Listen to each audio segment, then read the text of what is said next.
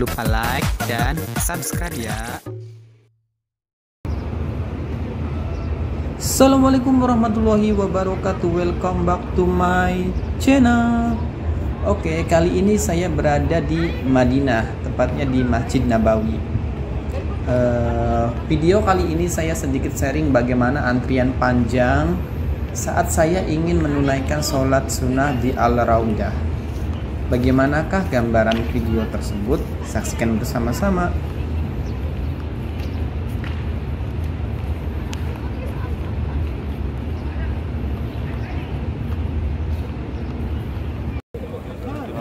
Iya, bisa dilihat di sini antriannya sangat panjang sekali. Apalagi sekarang bertepatan dengan jamaah haji yang berada di Madinah sekarang. Jadi antriannya makin panjang.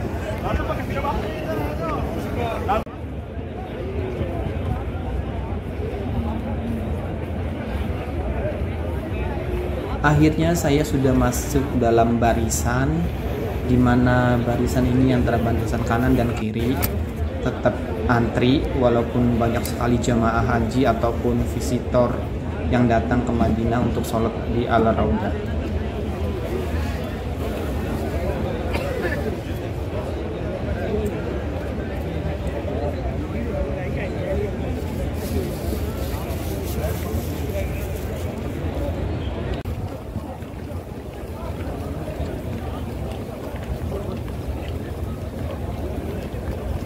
antrian pertama sudah terlewati. Kemudian kita disuruh antri lagi membentuk saf solar.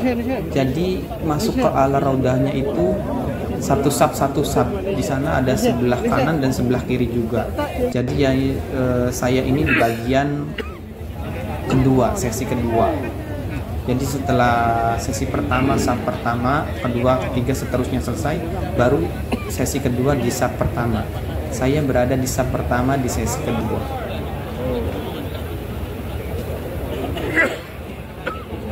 A few moments later, a few moments later, a few moments later.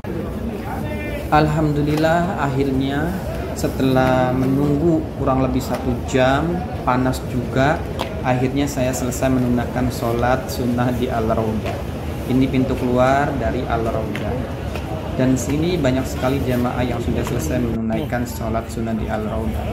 Di sini juga kita melihat jamaah Indonesia yang sedang mengantri juga untuk memasuki Al Raudah.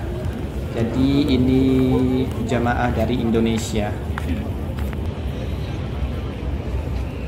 Jadi baik jamaah haji, pengunjung ataupun mukim tetap semuanya dilakukan dengan setara sedikit bonus ini uh, gambaran yang ada di dalam Masjid Nabawi. Sedikit saya ambil videonya. Ini bukan di Raudah, tempat sholat biasa. Oke, terima kasih telah menyaksikan channel YouTube saya. Saksikan video selanjutnya. Assalamualaikum warahmatullahi wabarakatuh.